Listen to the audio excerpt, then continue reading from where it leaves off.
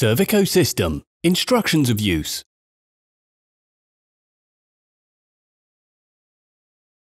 Consultation Day Evaluate the available mesiodistal space of the edentulous site with the cylindrical tabs of Cervico Guide. The ideal tab is one that fits the site, being in light contact with the adjacent teeth. In this example, the tab with 11mm diameter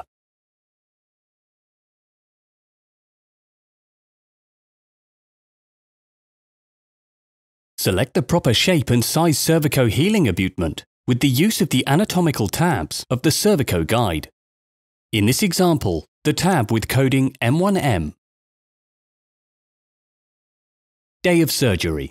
Utilizing the ideal cylindrical tab, 11mm diameter in this example, in order to mark your osteotomy, Align the central printed line of the tab with the occlusal line of the adjacent teeth. Perform the first drilling through the soft tissue and into the bone. Following, proceed by raising a flap or in a flapless approach.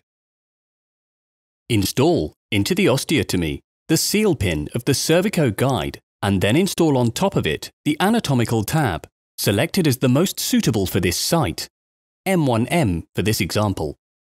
Proceed with the next size drill Install into the osteotomy the next size pin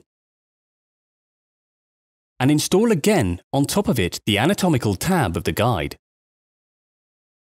This process allows you to continuously evaluate the osteotomy position and angulation in relation to the cervical profile and any necessary adjustments can be identified and made. Follow the same steps until you finalize the osteotomy according to the implant manufacturer's recommendations.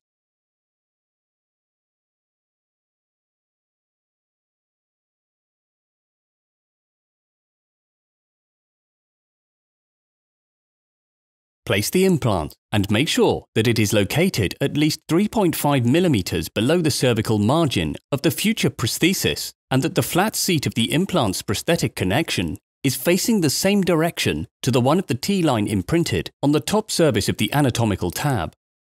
This will ensure proper orientation of the cervico healing abutment in the mouth. Cervico healing abutment and impression post-fabrication. Rotate the top ring of the cervico mold till the desired shape and size well of the silicon, M1M for this example, is aligned to the VPI analog that is compatible to your implant system and which is installed in the base of the mold.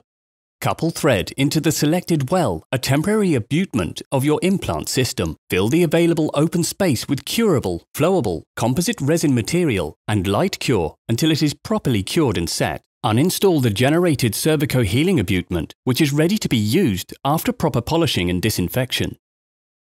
Couple thread into the same well of the mold a stock impression post of your implant system and follow the same step. Fabricate the duplicate impression post of the cervico healing abutment.